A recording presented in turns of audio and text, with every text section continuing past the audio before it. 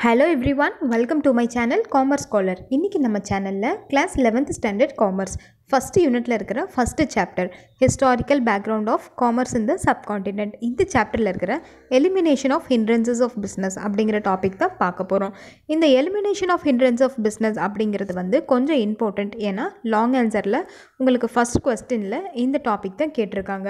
Long answer பாருங்கள் fourth Roman first question what are the hindrances of business இந்த கொஸ்டினுக்கான answer தான் இன்றைக்கி நம்ம வீடியோவில் நான் உங்களுக்கு எக்ஸ்பிளைன் பண்ண போகிறேன் உங்கள் காமர்ஸ் புக்கில் பேஜ் நம்பர் செவன் எடுத்துக்கோங்க. One point zero four elimination of hindrance of business இந்த டாப்பிக்கில் என்ன கொடுத்துருக்காங்க அப்படிங்கிறதுக்கு பார்க்குறதுக்கு முன்னாடி ஃபஸ்ட்டு வந்து ஹிண்ட்ரன்சஸ் அப்படின்னா என்னன்னு தெரிஞ்சுக்கலாம்.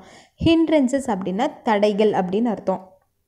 ஹிண்ட்ரன்ஸ் ஆஃப் பிஸ்னஸ் அப்படின்னா தொழில் செய்வதற்கான தடைகள் அப்படின்னு அர்த்தம். Elimination of hindrance of business அப்படின்னா தொழில் செய்வதற்கான தடைகளும் அவற்றை நீக்கும் வழிகளும் அப்படின்னு அர்த்தம். ஓகே இப்போ நம்ம டாபிக் உள்ள பா போகலாம் ஃபஸ்ட் பேராகிராஃப் பாருங்கள் என்ன சொல்லியிருக்காங்கன்னு.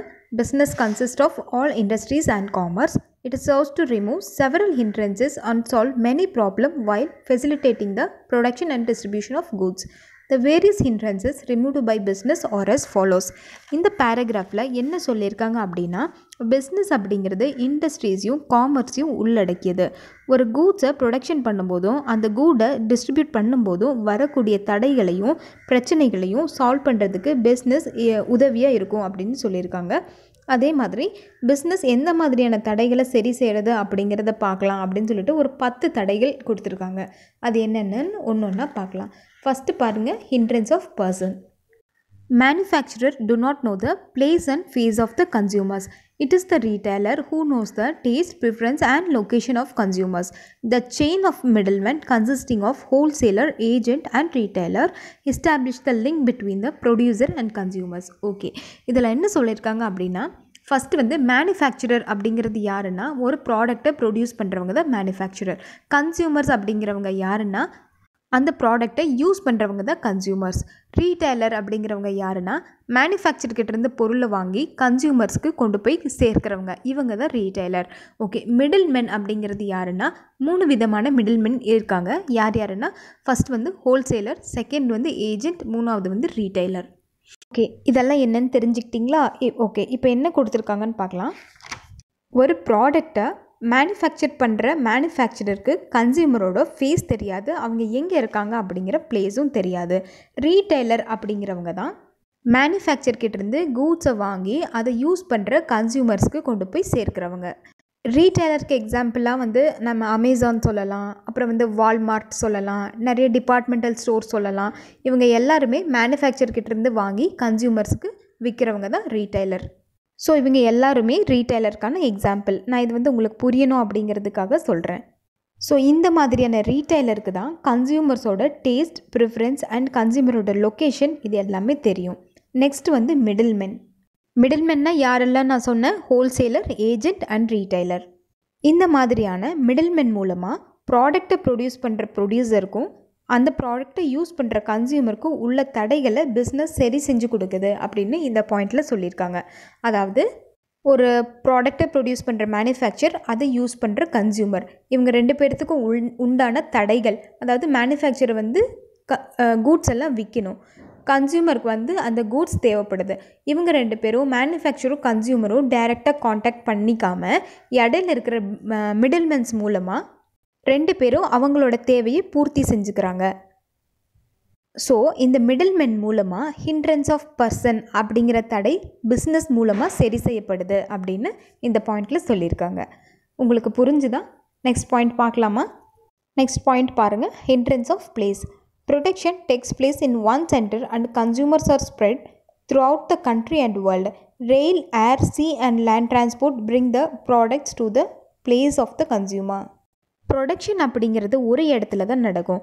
ஆனால் அந்த ப்ராடக்டை யூஸ் பண்ணுற கன்சியூமர்ஸ் வேர்ல்டில் எல்லா இடத்துலையுமே ஸ்ப்ரெட் ஆகிருக்காங்க ஸோ ஒரு இடத்துல ப்ராடக்டை ப்ரொடியூஸ் பண்ணி வேர்ல்டு ஃபுல்லாக இருக்கிற கன்சியூமர்ஸுக்கு எப்படி கொண்டு போய் சேர்க்கிறது? இதுதான் வந்து ஹிண்ட்ரன்ஸ் ஆஃப் பிளேஸ் அதாவது தமிழில் இடத்தடை அப்படின்னு சொல்கிறாங்க ஸோ இந்த தடையை போக்குறதுக்காக rail air sea and land transport அதாவது ட்ரெயின்ஸ் மூலமாகவும் ஏரோப்ளேன் மூலமாகவும் ஷிப்ஸ் மூலமாகவும் லேண்ட் டிரான்ஸ்போர்ட் லாரி ட்ரக்கு இது மூலமாகவும் ஹிண்ட்ரன்ஸ் ஆஃப் பிளேஸ் அப்படிங்கிற தடை சரி செய்யப்படுது அப்படின்னு இந்த செகண்ட் பாயிண்டில் சொல்லியிருக்காங்க.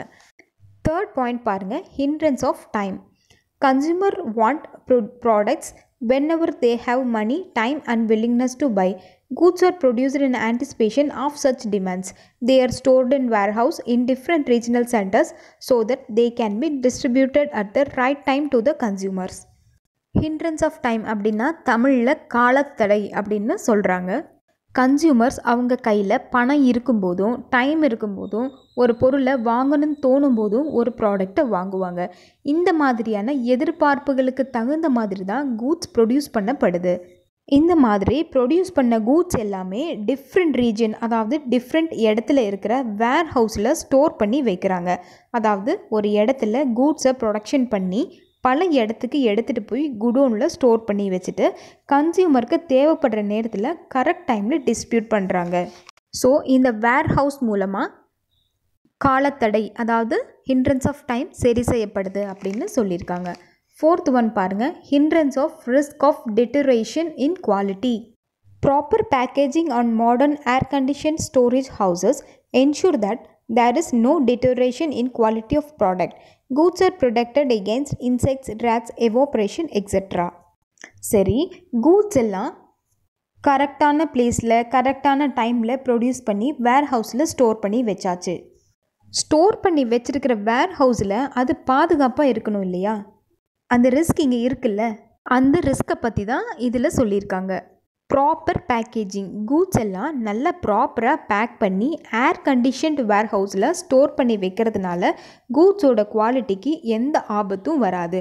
அது மட்டும் இல்லாமல் இன்செக்ட்ஸ் அதாவது புழு பூச்சிக்கிட்ட இருந்து கூட்ஸ் பாதுகாப்பாக இருக்கும்னு சொல்லியிருக்காங்க. நெக்ஸ்ட்டு ஃபிஃப்த் பாயிண்ட் பார்க்கலாம். Hindrance of risk of loss fire theft flood and accident may bring huge loss to the business. Insurance companies serve to cover the risk of such losses. இந்த பாயிண்டில் risk of loss அப்படிங்கிற தடையை பற்றி சொல்லியிருக்காங்க நம்ம கூட்ஸை store பண்ணி வச்சுருக்கிற வேர் ஹவுஸில் ஃபயர் ஆகிடுச்சு அப்படின்னாலோ இல்லை தெஃப்ட்டு அதாவது திருட்டு போயிடுச்சு அப்படின்னாலோ இல்லை ஃப்ளட்டு அதாவது வெள்ளம் மாதிரி ஏதாவது வந்துருச்சு அப்படின்னாலோ இல்லை ஏதாவது ஆக்சிடெண்ட் ஆகிடுச்சு அப்படின்னாலோ இது எல்லாமே பிஸ்னஸ்க்கு ஒரு பெரிய லாஸாக கருதப்படுது. ஸோ இந்த தடையை எப்படி நம்ம ஓவர் கம் பண்ணலாம் அப்படின்னா இன்சூரன்ஸ் இன்சூரன்ஸ் கம்பெனியில் இந்த ப்ராடக்ட்டுக்கெல்லாம் இன்சூர் பண்ணி வைக்கிறது மூலமாக இந்த ரிஸ்க்கை நம்ம ஈஸியாக ஓவர் கம் பண்ணி வந்துடலாம் அப்படிங்கிறது தான் இந்த பாயிண்டில் அதாவது hindrance of risk of loss அந்த பாயிண்டில் சொல்லியிருக்காங்க. நெக்ஸ்ட் பாயிண்ட் பாருங்கள் hindrance of knowledge advertising and communication helps in announcing the arrival of new product and their uses to the people நான் முன்னாடியே சொன்ன மாதிரி ஒரு ப்ராடக்ட்டை ப்ரொடியூஸ் பண்ணுற மேனுஃபேக்சர் ஒரு இடத்துல இருக்காங்க. அதை யூஸ் பண்ணுற கன்சியூமர்ஸ் வேர்ல்டு ஃபுல்லாக நிறைய இடத்துல பரவி இருக்காங்க. ஒரு புதுசாக ஒரு ப்ராடக்ட்டை ப்ரொடியூஸ் பண்ணுறாங்க அப்படின்னா அந்த ப்ராடக்டோட நாலேஜை கன்சியூமர்ஸ்க்கு எப்படி கொண்டு போய் சேர்க்கறது அப்படிங்கிற தடையை பற்றி தான் இந்த பாயிண்டில் சொல்லியிருக்காங்க. அதாவது அட்வர்டைஸிங் விளம்பரப்படுத்துறது மூலமாகவும் அந்த ப்ராடக்டை பற்றி கம்யூனிகேட் பண்ணுறது மூலமாகவும் இந்த ப்ரொ புதுசாக ப்ரொடியூஸ் பண்ணியிருக்கிற புது ப்ராடக்டோட நாலேஜ் கன்சியூமர்ஸுக்கு போய் சேருது அப்படின்னு சொல்லியிருக்காங்க. நெக்ஸ்ட் பார்த்தீங்கன்னா hindrance of exchange money functions as a medium of exchange and enable the buying and selling of any product or service by payment of the right price முன்னாடியெல்லாம் பார்டர் சிஸ்டமில் ஒரு ப்ராடக்ட்டுக்கு இன்னொரு ப்ராடக்ட் எக்ஸ்சேஞ்ச் பண்ணி தான் வாழ்ந்துட்டு இருந்தாங்க. இந்த காலத்தில் மணி அப்படிங்கிற ஒரு மீடியம் வந்துருச்சு. அதாவது மணி அப்படிங்கிறது வந்து ஒரு மீடியம் ஆஃப் எக்ஸ்சேஞ்சாக பயன்படுது. ஒரு ப்ராடக்டை வாங்குறதுக்காகவும் விற்கிறதுக்காகவும் இப்போ வந்து பணத்தை தான் பயன்படுத்துகிறாங்க ஸோ அந்த ப்ராடக்ட்டுக்கு ரைட் ப்ரைஸை கொடுக்கறது மூலமாக இந்த ஹிண்ட்ரன்ஸ் ஆஃப் எக்ஸ்சேஞ்ச் அப்படிங்கிற தடை சரி செய்யப்படுது அப்படின்னு சொல்லியிருக்காங்க. நெக்ஸ்ட்டு பார்த்தீங்கன்னா hindrance of finance producers and traders may not have the required fund at the time of their need bank and other financial institution provide fund and help in transfer of funds to enable the functioning of business smoothly hindrance of finance அப்படின்னா பணத்துக்கு ஏற்படுற தடையை எப்படி business சரி செய்யப்படுது சரி செய்யுது அப்படிங்கிறது தான். ஒரு ப்ராடக்டை ப்ரொடியூஸ் பண்ணுற ப்ரொடியூசர்ஸ்க்கு கரெக்ட் டைமில் அந்த ப்ராடக்டை ப்ரொடியூஸ் பண்ணுறதுக்கு பணம் இல்லை அப்படிங்கிற பட்சத்தில் பேங்க்லேயும் சில ஃபினான்ஷியல் இன்ஸ்டியூஷன்லேயும் பணம் வாங்கிக்கலாம். அதாவது லோன் வாங்கிட்டு ப்ராடக்டை ப்ரொடியூஸ் பண்ணிவிட்டு அது அதில் வர்ற வருமானத்து மூலமாக லோனை ரீபே பண்ணிடலாம். So bank and other financial institution மூலமாக இந்த பணத்தடை அப்படிங்கிறது சரி செய்யப்படுது அப்படின்னு சொல்லியிருக்காங்க. நெக்ஸ்ட் பார்த்தீங்கன்னா hindrance of developing the exact product research and development helps in developing the exact product or service which can satisfy the specific wants of consumer and thus improve the standard of living of the people. Research and development அதாவது கன்சியூமர்ஸ்க்கு எந்த மாதிரியான product தேவைப்படுது? அவங்களோட exact NEET என்ன? அப்படிங்கிறத research பண்ணி அது மூலமாக ப்ராடக்டை டெவலப் பண்ணுறாங்க ஸோ இந்த மாதிரி ரிசர்ச் பண்ணி ப்ராடக்டை டெவலப் பண்ணுறது கன்சியூமர்ஸை ரொம்பவே சாட்டிஸ்ஃபை பண்ணுது. அது மட்டும் இல்லாமல் கன்சியூமரோட ஸ்டாண்டர்ட் ஆஃப் லிவிங் அதாவது வாழ்வாதாரத்தையும் உயர்த்துது அப்படின்னு இந்த பாயிண்டில் சொல்லியிருக்காங்க. நெக்ஸ்ட்டு டென்த் பாயிண்ட் பாருங்கள் hindrance of both selection and delivery at doorsteps e commerce enables the consumer to select the product in the website place online order and make payment after receiving the product at the doorstep இதில் என்ன சொல்லியிருக்காங்க அப்படிங்கிறா? E commerce அப்படிங்கிறது கன்சியூமரை வெப்சைட்லேயே ப்ராடக்டை select பண்ண வச்சு ஆன்லைன்லேயே order place பண்ண வச்சு பேமெண்ட்டு ஒரு கூடை டெலிவரி பண்ணதுக்கப்புறமா பேமெண்ட் பண்ணுற ஆப்ஷனும் இ காமர்ஸில் இருக்குது இதுக்கு எக்ஸாம்பிளாக உங்களுக்கு அமேசான் ஃப்ளிப்கார்ட் ஸ்னாப்டீல் இது எல்லாமே இ காமர்ஸ் தான். ஸோ இந்த மாதிரியான இ காமர்ஸ் மூலமாக கன்சியூமர்ஸ்க்கு டோர் ஸ்டெப்லேயே அவங்களுக்கு அவங்க செலக்ட் பண்ணுற ப்ராடக்ட் வீடு தேடி வருது அப்படின்னு இந்த பாயிண்டில் சொல்லியிருக்காங்க. இதுதான் elimination of hindrance of business அதாவது தொழில் செய்வதற்கான தடைகளும் அதை நீக்கும் வழிகளும். இந்த கொஸ்டினுக்கான ஆன்சர் உங்களுக்கு நல்லா புரிஞ்சிருக்கும்னு நினைக்கிறேன். இந்த கொஸ்டினில் உங்களுக்கு ஸ்பெசிஃபிக்காக ஏதாவது டவுட் இருந்தால் நம்ம சேனலில் நம்ம சேனலுக்கு இருக்கிற கமெண்ட் செக்ஷனில் உங்கள் டவுட்ஸை போஸ்ட் பண்ணுங்கள் நான் உங்கள் டவுட்ஸை கிளியர் பண்ணி தரேன். இது வரைக்கும் நம்ம சேனலை சப்ஸ்கிரைப் பண்ணாமல் இருந்தீங்கன்னா மறக்காமல் சப்ஸ்கிரைப் பண்ணிக்கோங்க. உங்கள் ஃப்ரெண்ட்ஸுக்கும் நம்ம சேனலில் ஷேர் பண்ணுங்கள் Take care, children. Good luck to you all. Bye bye.